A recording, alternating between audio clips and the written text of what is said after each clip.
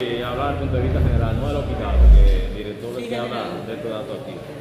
No, yo creo que he dicho hace varias semanas de que nosotros estamos en la etapa epidémica del dengue en la República Dominicana, desde el punto de vista de lo que son las variables epidemiológicas. Nosotros el año pasado, hasta la semana que está publicada hoy, que es la del 1 hasta la 21, según la publicación del boletín epidemiológico de las autoridades, ellos han reportado, el año pasado reportaron 571 casos y ahora hasta la, semana 21 llevan 1904 casos, lo que te da una indicación del punto de vista epidemiológico, un aumento casi cuatro veces por encima del año anterior, que como se miden los indicadores epidemiológicos.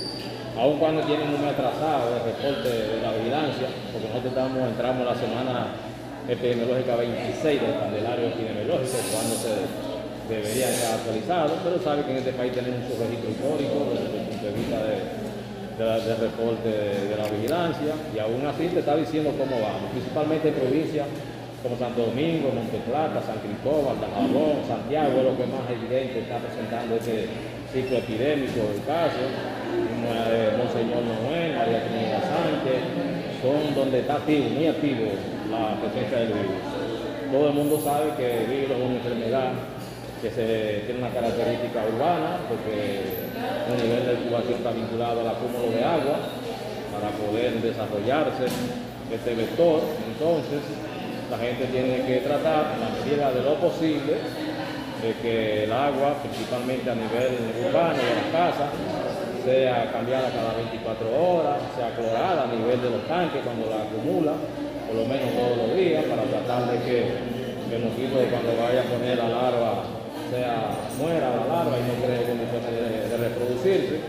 Las autoridades deben dejar mecanismos de población a nivel nacional en términos de los árboles para ir determinando las condiciones de, de criadero de los diferentes mosquitos, el ayuntamiento debe ir a nivel municipal eliminando todos los problemas de criaderos que se producen eh, a nivel cuando llueve, cuando se acumula el agua, para contribuir a disminuir lo que son los vectores que utiliza el mosquito para poder reproducirse. Entonces, es una de las enfermedades que todo el mundo sabe que entre 2 y 4 años genera una epidemia, por lo menos en la República Dominicana. La última de mayor trascendencia fue alrededor del, del 19, ya estamos en el periodo de los 4 años. Y este es un comportamiento típico de una enfermedad que si tú no le cortas la forma de transmitir, pues obviamente ya se va a expresar como se está expresando en este año. Doctor, cuando tú hablas de un retraso, ¿eso pudiera repercutir en un incremento?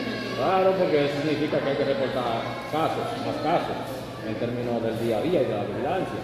Si en 21 semanas nosotros tenemos un reporte al día de hoy de 1904 casos, usted va a ver que deben haber un retraso de alrededor de sus 300 casos por ahí, que no lo han reportado al sistema de vigilancia. Y nosotros estamos muy por encima de eso, muy por encima de los 2.000 casos en República Dominicana, por un problema hasta de, del, subregistro en materia de diagnóstico.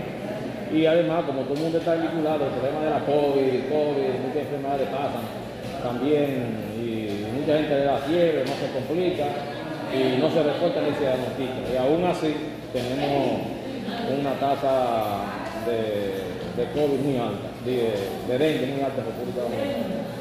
¿Es, motivo, es la realidad. ¿Es motivo de preocupación esta tasa? Claro que hay que preocuparse porque es una enfermedad que tiene una- un nivel de, de letalidad eh, elevada en, en República Dominicana. El sistema de salud no eficiente como para producir una disminución de, de la letalidad, que es lo más preocupante. Y el nivel de infectación también aumenta. Entonces hay que preocuparse porque estamos en el periodo epidémico porque se lo está indicando la cantidad de casos que hay. Están casi cuatro veces con, relación a los casos del año anterior. Entonces sí hay que preocuparse con relación también a